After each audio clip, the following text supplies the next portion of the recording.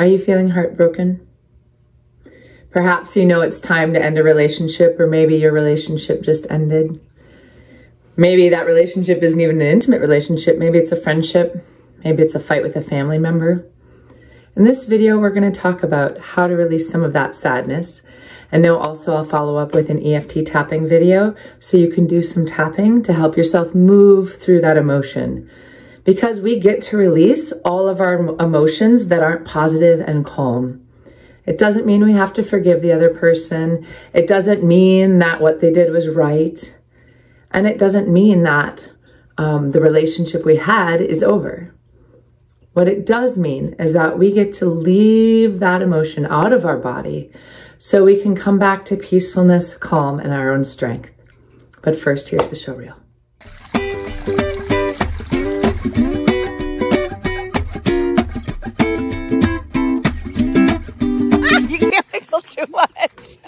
One of the biggest things I work with with my clients is a feeling of sadness after they either know they have to really leave a relationship or after they've left a relationship.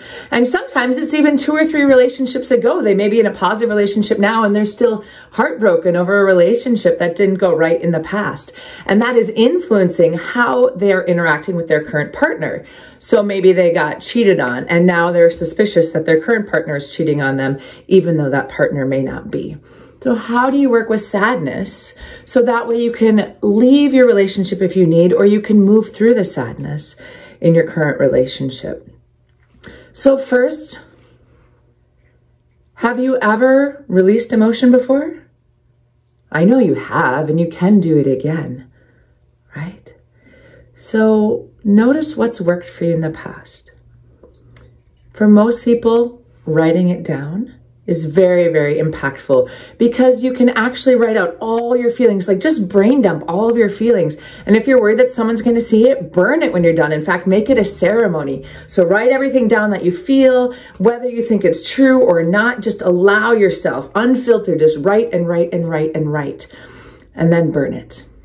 For other people, they like to yell and scream and really move it through their body. So if you don't have a private place, I always suggest to people, get in your car and drive around and then just scream and say everything that you want to. Hit the steering wheel if you want, park somewhere and just, ah, and get it out of your body. Move through it. Say whatever you want to say. How sad you are, how betrayed you are, how dare you hurt me, how dare you do this. Whatever comes up with that sadness, because often under sadness is also hurt or anger or betrayal or jealousy or feelings of being unlovable or unwanted. Have you ever felt those feelings? Even a little bit? So that's why it's so important that you release them out of your body. You can also use emotional freedom techniques or tapping. Like I said, I'll be putting up a video around EFT tapping for sadness, but using this tool once again, as you're driving around or when you're thinking about it, when you're experiencing it, just tapping through the points will help you move through whatever emotion is stuck in your body, whatever needs to move. Because remember, emotion is energy in motion. So we get that energy moving, we get it out of our body because actually our body only hangs on to emotion for a few seconds. After that, it's all of our mind that's holding on to that emotion. So you can easily and effectively release emotions of sadness. Another thing that I notice in people is once we get sad, it's easier to get more and more sad.